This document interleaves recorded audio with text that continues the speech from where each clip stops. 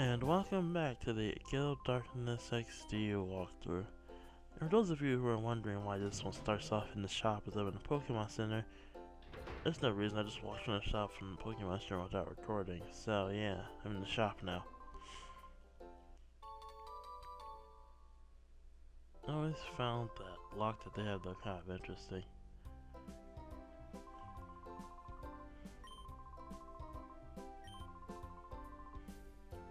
Huh, so the news aren't already there reporting on the professor's kidnapping.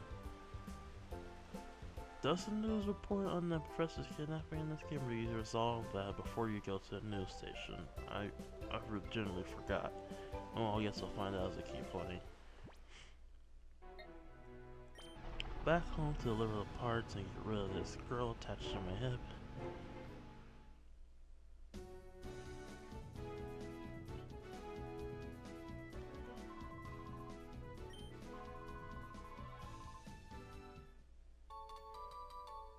Oh, Professor Krane.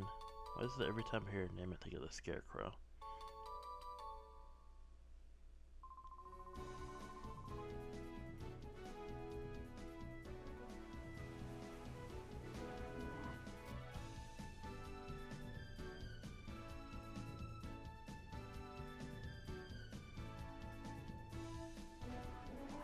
Yes, I'm guessing your mom is still in that room where she was.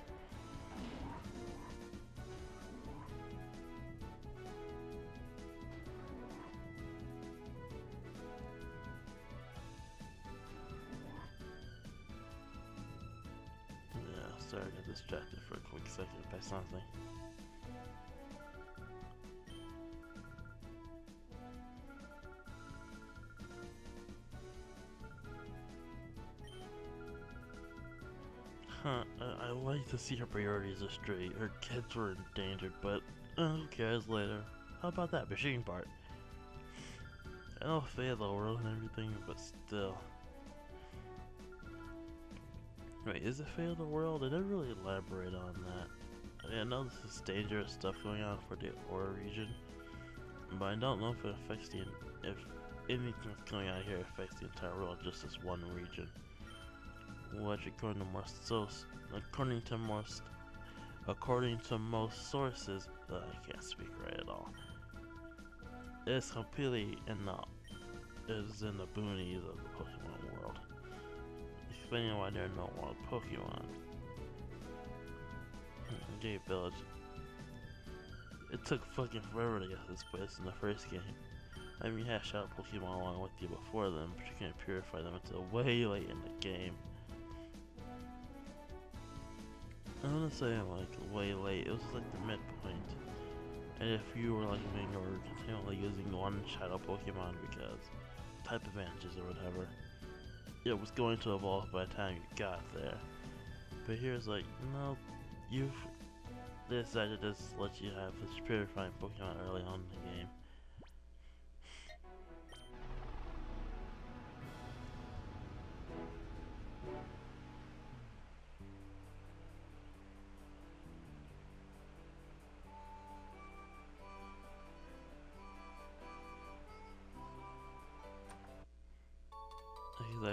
One Pokeball. Hmm, I think that's nothing to sleep in the treasure chest. Okay, there's one thing I really like about this town, and that's that most of the people that you talk to will challenge you to battles. This is like a leveling up dream. It's having random trainers challenge you to battles, but now you're challenging them.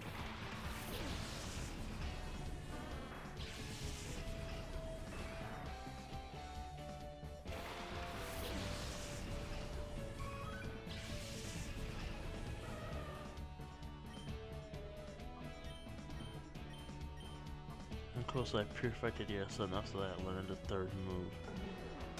For those of you who don't know what that's all about, because if you never played the game or this is your first watching of a let's play of the game, uh, well, uh, the Pokemon that you have only know their shadow moves when you catch them, you get the shadow Pokemon and all, but if you get them to trust you and get past you or whatever, they will open up their hearts and learn, or I guess, relearn unless you know that they have certain moves. I mean, the first game was pretty pivotal that you open up your Pokemon Center because before then, only thing I knew was Shadow Rush, which was a double-edged move, basically meaning it would cause them injury as well.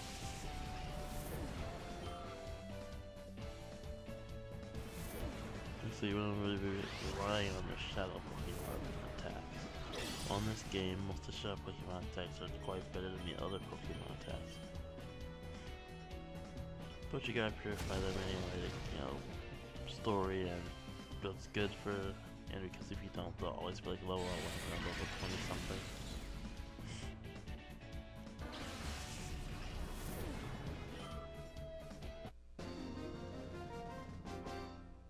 This one was fun old man at trainer class. I mean, how would you get that?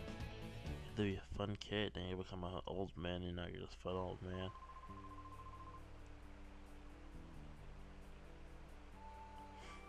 Uh, sorry, just there sound a lot of hidden passageways. This lead to maybe another character or items.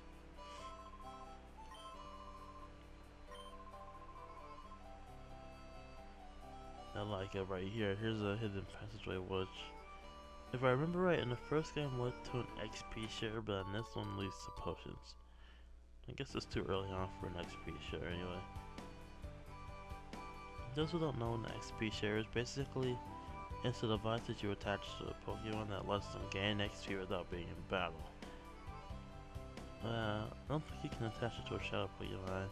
If a Pokemon is in battle with it attached, they get double the XP. So basically it's a level helper. It makes leveling up easier for British people. For those who are wondering what the deal is with this town, it's basically this region is equivalent to an old folks home in a town. Only all the villagers are retired Pokemon trainers.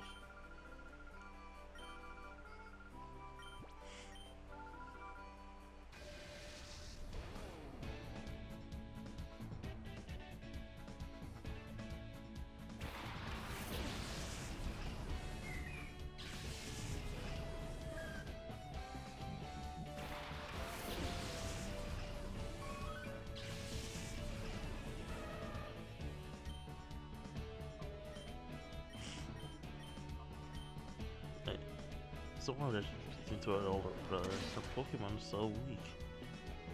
Here's a tip, what chick. If you want to beat your brother in the Pokemon battle, level them up.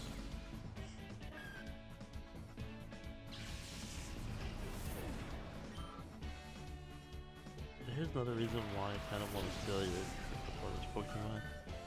Oh, reverse mode. Oh, I'll get back into that later. But reverse mode in this game is kind of a bitch. In the last game, that mode that they went into would just cause some power-up boosts, but they wouldn't listen to you. In this game, it causes some physical harm for some reason.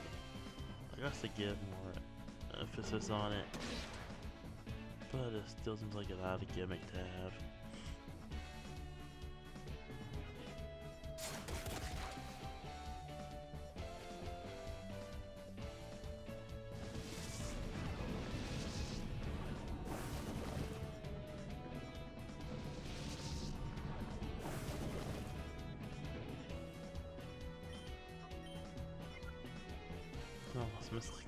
Sound attack. Okay, what I was saying earlier about killing your opponent's Pokemon, how that would be a fun gimmick for a game to have. I just mentioned Joey currently does Rattata. I don't think up in my third video, but uh, like right here, I would really love to have that Togepi. Just because like I said, like Togepi, I know you get one later in the game, but still, I would really like to have one now. Sometimes you, besides the only way to get Elekid, which is probably one of the better Pokemon in the game to have, is to trade away that Togepi.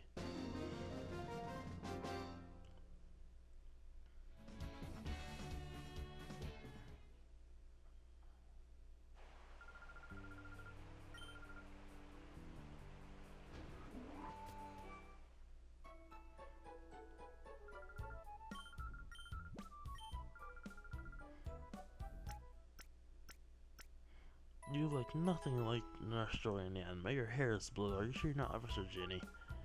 Sorry, this is nothing to comment on, but I just want to make a joke that I think completely failed. So let's challenge the cowboy.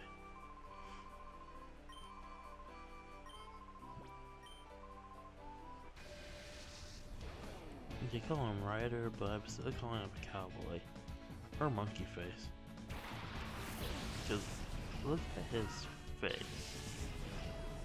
Uh, it kind of reminds me of this one character. Uh, I don't know if you guys have heard of it. There's an anime called no Hyanime. I'm pretty sure it's butchered that name. It basically means My Bride's a Mermaid. Just one character. It's called Sari, which is Japanese for chimp. In English, they call him chimp. his face looks exactly like that guy's, only better resolution. I mean, has the same kind of hair and the sideburns and everything. That's why I'm gonna start calling this guy Monkey Face.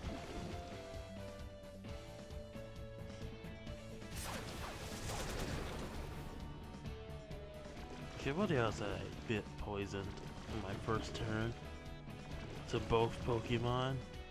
I'm serious, what are the odds? That was fucking unlikely.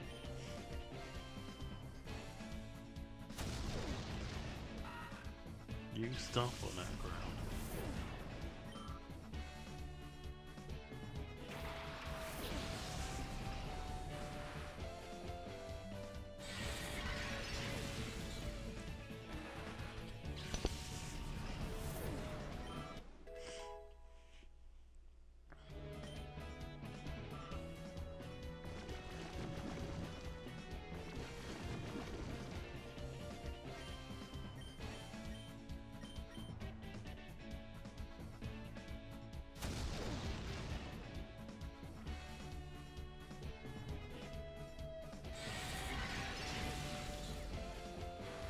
And down goes let me enjoy the defeated Pokemon animation. I kinda wish it was a triumphant Pokemon animation to go with it, but you know. Eevee is evolving. For those who don't know, back in the last video I gave, I got the evolution item for Eevee to turn to Umbreon because in my experience, Umbreon are bulky, and I really want a bulky Pokemon to be my starter. I mean my front runner for my team. Because they will take punishment like a champion. And this help having it helps having a dark type pretty early on. Just checking the Umbreon. Still jolly natured. Nah, that defense is looking pretty good for a level 12 Pokemon. Am I right, people?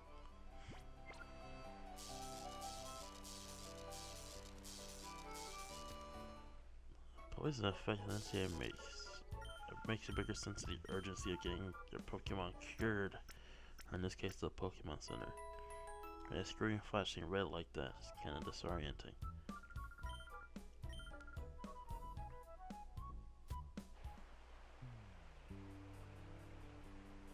I want to know Nintendo actually agreed to the flashing red screen thing, but considering that Porygon episode that got so infamous.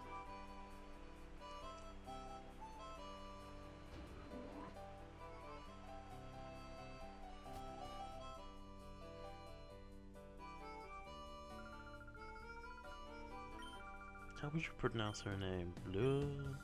Yeah? Nah.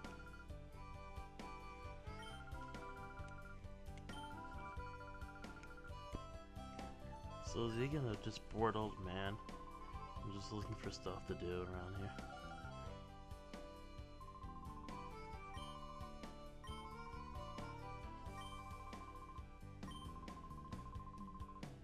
Hmm, I can't instantly organize all this stuff.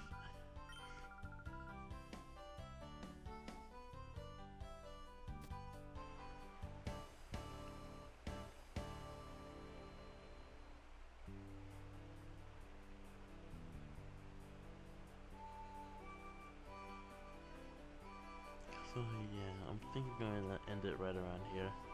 Next time we're gonna go with the trials. For those of you who don't know what that means, basically it means I'm going to fight a bunch of trainers in a row to get to the stone that will be prepared for my shop Pokemon. And if I'm also playing for an hour, it's kind of impressive. Anyway, uh, let me just push slowly by here. Anyway, next time we'll start the trial, so see you next time.